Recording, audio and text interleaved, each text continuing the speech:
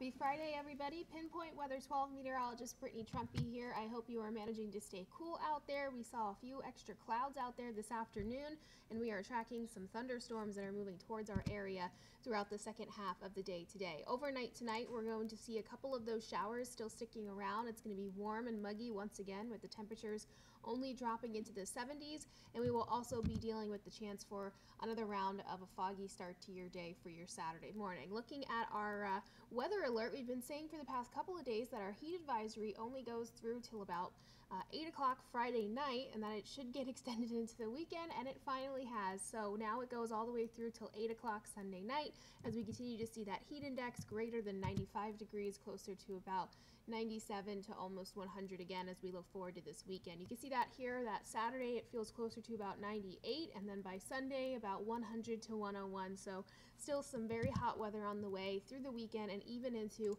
the start of the work week. Here's your hour by hour forecast. Again, you can see those showers and thunderstorms rolling across our area. By about 10 o'clock, that activity should be winding down.